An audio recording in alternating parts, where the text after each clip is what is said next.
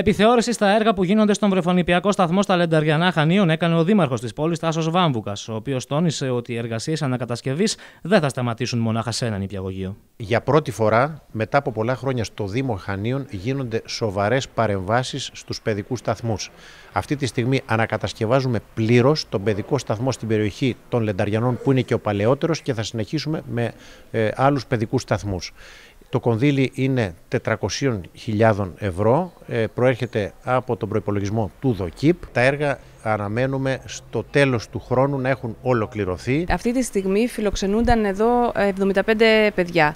Ευελπιστούμε με την αξιοποίηση και την ανακατασκευή και χώρων οι οποίοι πριν ήταν αχρησιμοποιητοί, ουσιαστικά δεν μπορούσαν να αξιοποιηθούν για να φιλοξενήσουν παιδιά, ε, να καταφέρουμε να αυξήσουμε τον αριθμό των παιδιών που θα φιλοξενηθούν στο συγκεκριμένο βρεφονιπιακό σταθμό. Στη συνέχεια θα πάμε στον ε, παιδικό σταθμό της νέας χώρας και στη συνέχεια ε, θα ανακατασκευάσουμε το σταθμό της Σούδας, ιδιαίτερα της στέγη του. Η αρμόδια αντιδήμαρχος τόνισε ότι γίνονται ενέργειες και για να προσληφθεί προσωπικό για τους βρεφονιπιακούς σταθμούς, ιδιαίτερα για εκείνον του ακροτηρίου που μπορεί να φιλοξενήσει περισσότερα παιδιά. Στο βρεφονιπιακό σταθμό που βρίσκεται στο παλιό Δημαρχείο Ακροτηρίου, ναι, μεν φιλοξενούνται αυτή τη στιγμή 70 παιδιά, έχει δυνατότητα φιλοξενίας ε, έως 120.